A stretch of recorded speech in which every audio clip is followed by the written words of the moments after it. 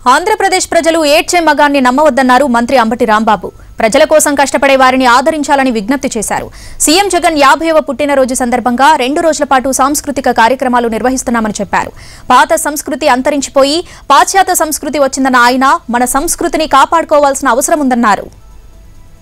మగవాడు పంచకట్టు కట్టడం ఎంత సాంప్రదాయమో మహిళ చీర కట్టడం ఎంత సాంప్రదాయమో సాంప్రదాయం కానిది కూడా ఒకటి ఉన్నది ఏడ్చే మగవాడిని నమ్మకూడదనేది కూడా తెలుగు సాంప్రదాయం గుర్తుపెట్టుకోమని మనం చేస్తున్నాం.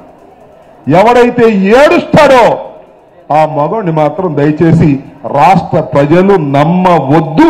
అది మన తెలుగు సంస్కృతి అని కూడా ఈ సందర్భంగా మనవి చేస్తూ ఈయన ఆయన పొలంలోనే చేపల పెంపకం చేస్తూ ఆరు నెలలకి మూడు లక్షలు సంపాదిస్తున్నారు. మీకు చేయాలనుందా? ఆయన దగ్గర నుంచి నేర్చుకోవాలనుందా? అయితే ఫ్రీడమ్ యాప్ని వెంటనే డౌన్లోడ్ చేసుకోండి.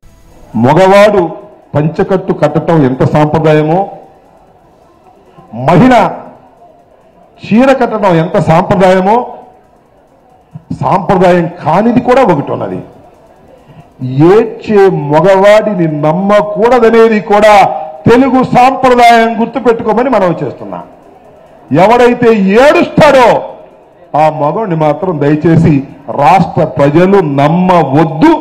అది మన తెలుగు సంస్కృతి అని కూడా ఈ సందర్భంగా మనవి చేస్తూ ఈయన ఆయన పొలంలోనే చేపల పెంపకం చేస్తూ ఆరు నెలలకి మూడు లక్షలు సంపాదిస్తున్నారు. మీకు చేయాలనుందా? ఆయన దగ్గర నుంచి నేర్చుకోవాలనుందా? అయితే ఫ్రీడమ్ యాప్ని వెంటనే డౌన్లోడ్ చేసుకోండి.